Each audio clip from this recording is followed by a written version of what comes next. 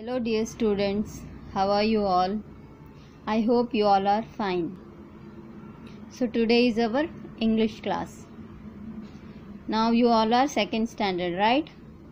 So, in second standard, first lesson The Field Mouse. It's a poem. Okay. So, have you ever seen a mouse? Do you think mice are cute? What would you do if you suddenly saw a mouse in your room? Let us read, read let us read this poem about field mouse. So, this poem is all about field mouse. So, uh, you might be have seen mouse before, right? But here is the poem about field mouse where the where the mouse lives only in field. Okay. Field means where farmer works. Farmers farm their grains and many more things. Understood? Okay. Let's read. I'll read first six lines and then I'll tell you the meaning of this six lines okay? Where the acorn stumbles down where the ash tree sheds its berry with your fur so soft and brown with your eyes so round and merry scarcely moving the long grass field mouse I can see you pass so let's read once again. Where the acorn tumbles down, where the ash tree sheds its berry, with your fur so soft and brown, with your eyes so round and merry, scarcely moving the long grass, field mouse, I can see you pass. So there is a difficult word acorn tumbles down so what does it means? Acorn means the nut of an oak tree. It's a kind of tree. And the acorn means the nut of the tree. Okay. Tumbles down. See? Tumbles down. What does it means? It means falls to ground. Understood? Falling to the ground. Sheds. Shed means to get rid of something. Okay. Scarcely. Scarcely means hardly, very difficultly. Understood? Okay. Where the acorn tumbles down, where the ash tree sheds its berry, with your fur so soft and brown, with your eyes so round and merry, scarcely moving the long grass, field mouse, I can see you pass. So, what the meaning of these six lines? Okay, let's see. In these line, poet describing about field mouse. So, who is the poet here? Cecil Frances Alexander. Okay. So, he is describing that he is describing about a field mouse. Okay. It has a soft fur and round merry. Merry means happy eyes. Okay. It has a soft fur. Fur means a soft and thick hair on its body. See, have you seen mouse before? Yeah, it has soft hairs on on its body, right? That is called fur. Okay. It has a soft fur and round happy eyes. And it moving into the long grass see there is a grass right this mouse is moving into the grass. Moving into the grass. When the mouse is moving into the grass, yes, the acorns and the berries. The acorns and the berries falling down, falls on the ground. At that time, the mouse is moving into the grass. Understood? What is acorn? Acorn means the nut of oak tree. Right? Yes. Acorn is nut of an oak tree. Okay. The acorns and berries falls down. In that time, the mouse moving on the long grass. Understood? Why the mouse is moving on the long grass? Why the mouse is moving on the long grass? Because it wants to eat the acorn and berries. Understood? Acorn and berries. He wants to eat acorn and berries. That's why the mouse is moving into the grass, long grass. Okay. Which tree sheds berry? The ash tree sheds berry. There is a tree called ash. It has a fruits. For them only they are calling berries. Understood? Okay.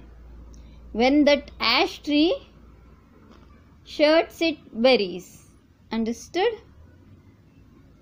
When the ash tree sheds its berries and the acorns tumbles down. When they fall to the ground, acorns fall to the falls to the ground. At that time, the mouse moving into the grass to eat them. Understood, children? Good.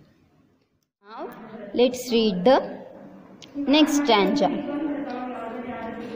Little thing in what dark den lie you all the winter sleeping till warm weather comes again then once more I see you peeping round about the tall tree roots nibbling at their fallen fruits.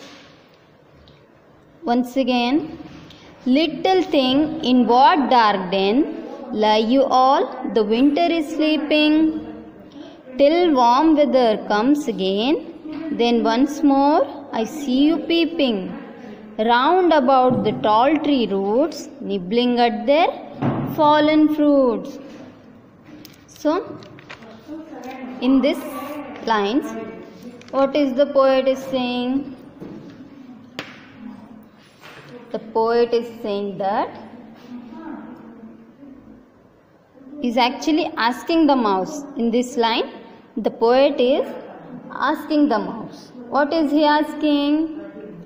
He is asking what it does during the winter season. He is asking to mouse what you does in winter season what he does? He is hiding. Mouse is hiding in winter season. He is hiding in winter season. Where? In the hole. The mouse stay in hole right? So he hiding in its hole. Then they comes out in summer season. When it comes out from the hole in summer season they comes out of the hole to eat to eat the fruits and grains to eat the fruit and grains. Understood which fruit and grains they will eat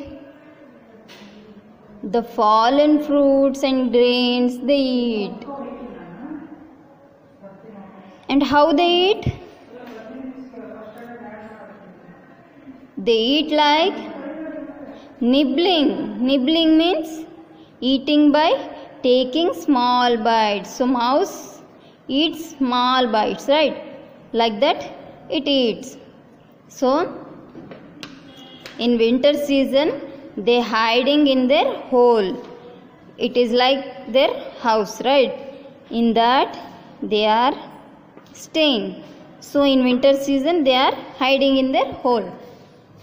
But in summer season, they come out. In summer season, they come out to eat. At that time, they feel hungry, right? So, they come out and eat the fruits and grains. How they eat? They eat taking small bites. Isn't it? Understood these lines? Okay, so let's move the next line. Field mouse, field mouse, do not go where the farmer stocks his treasure. Find the nut that falls below, eat the acorn at your pleasure, but you must not steal the grain he has stocked with so much pain. Let's read once again. Field mouse, field mouse, do not go where the farmer stocks his treasure. Find the nut that falls below, eat the acorn at your pleasure. But you must not steal the grain he has stalked with so much pain. Here the poet is asking mouse and requesting also that don't eat the grains okay don't eat the grains because the farmer grows it by working very hard. And also he is telling to mouse that eat only fallen fruits. Okay? He is telling the mouse that you can eat the fallen fruits so that the farmer will not harm you. Understood now see the next lines. Make your hole where mosses spring underneath the tall oak's shadow. Pretty quite harmless thing play about the sunny meadow. Keep away from corn and house none will harm you little mouse. Once again make your hole where mosses spring underneath the tall oak's shadow pretty quiet harmless thing play about the sunny meadow. Keep away from corn and house none will harm you little mouse. So in this line poet is asking mouse to make the hole what he is asking? He is asking to make the hole where under the oak tree. He is telling the mouse to make a hole under the oak tree to stay. Understood? He is telling the mouse to make a hole under the oak tree to stay in that. And he is also saying that don't don't stay in house or stock grains. Stay it in sorry stay in under the hole of the oak tree not in the house or a stock grains. If he if he do so in that way nobody will harm or beat the little mouse understood the poet is saying that make a hole under the oak tree to stay in that hole make a hole in the oak tree, but don't go near the house or don't stay in the stock grains. Otherwise, the farmer will beat you. If you stay in hole only means nobody will harm you and nobody will beat you. Understood that children? So, write this poem. Write and read this poem for two times okay? This is your homework. Understood? Thank you